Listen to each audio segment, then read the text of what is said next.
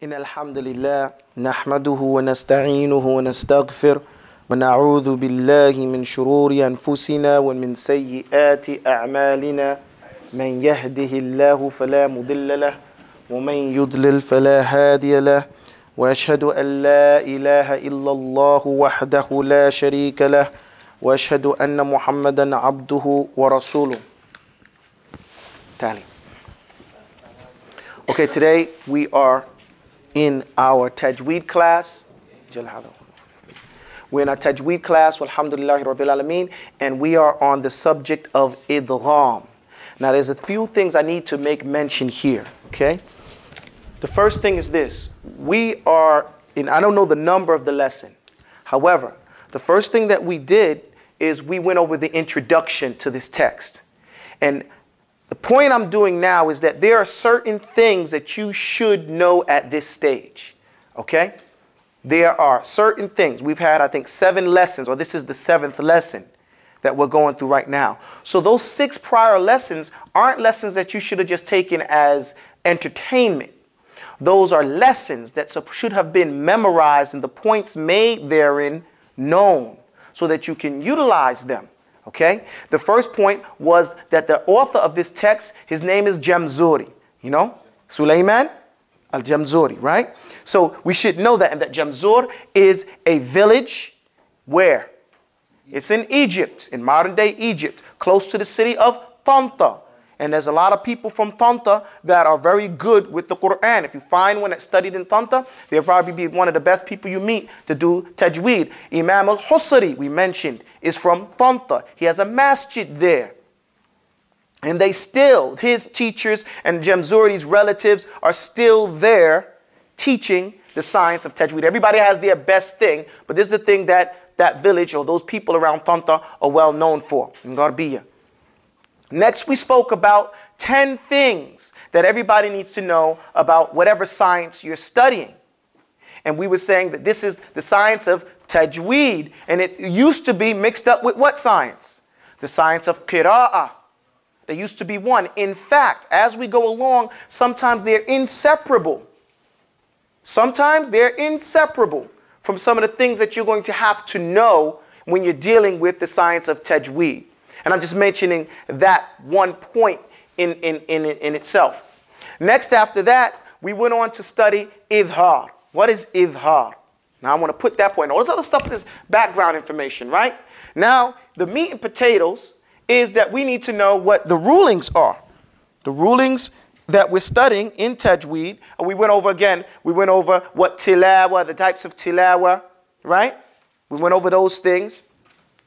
And some people had questions about that. And we mentioned that if you're reciting Quran and someone says to you, oh, you're not reciting, you're reciting too fast, you're disrespecting the Quran, or anything that you know you can't argue with an ignorant person.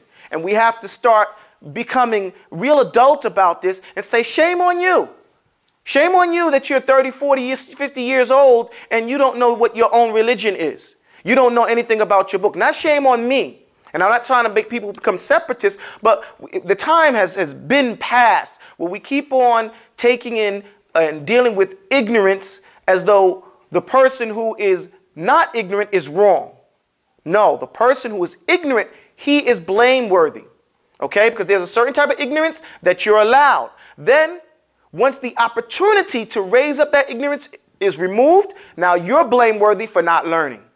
Okay? So a child is not blameworthy for not knowing how to pray and how to offer salah or how to read Quran. Once they become an adult, they're blameworthy for not learning how. Okay? So we, we good? So going right along, we go into the learning the rules of idhar. Idhar, what does idhar mean? First and foremost, you should know that. Idhar means to make something clear, right? Mubin is a terminology, as a terminology, it means to pronounce the letters, certain letters, in a way that is independent and distinct from another letter.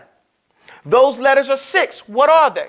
They are Hamza, Faha'un, Thumma, Ainun, Ha'un, Muhmalatani, meaning they don't have a sign over them. Thumma, Ghainun, Kha'u. That's six letters of the throat. Six letters of the what? Throw. Then after that, we went on to the next rule. This is the first rule we learned. And this is the chapter called Noon is Sakina, what Tenween, because we went over that. What a noon was, the letter noon, and which a Sakina, nothing over it, no vowel sound. So it's N, Un, or In. And then we went Tenween, which is the sound of Noon Sakina without having to write the actual noon. So it still makes the same sound of N, Un, or in, right? So now there are rules for it. The first rule we learned is called izhar. When the noon is sakina or tanween comes before these six letters, then we pronounce it an, un, or in. And we gave examples. So you should at least know man amana. You know, you should know the first one. You know, you should know something from this. Juduf and har. You should know this. Halimun Alim. You should know something about these sounds that come with these letters, okay, and be familiar with it. The next one we started with was idgham. Idgham. Say that. And I'm only using English numbers or Roman numerals here to help people out on all these different signs and I'm writing at an angle, you know, so I just want you to, to, to notice that because we're going to get to some other things over here. Idgham. We mentioned first that there are four rules. للنون ساكن وللتنوين أربع أحكام فخذ تبييني. So there's four rules dealing with nun sakin and tanween, but there's some clarification needed there. The clarification is that idgham is how many types of idgham? There's two types. So there's idgham with gunna. Say that, idgham with gunna.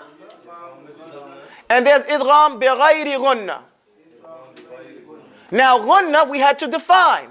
Ghunna is holding that air in your nose, holding it up there. When you say an, you know, or am, it's, it's that no, that, that nasal sound is considered ghunna.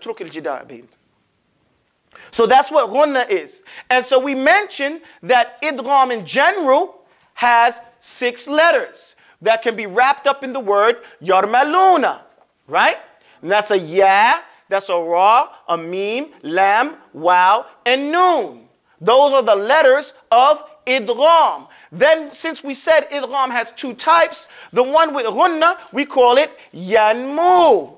Say that. Say yanmu. yanmu. So these letters come, and that's a ya, the noon, the meme, and the wow. Those are the letters of idgham bighunna with gunna. The ones without gunna is lir, or some people say ril. It doesn't make a difference as long as you know it's lam wara.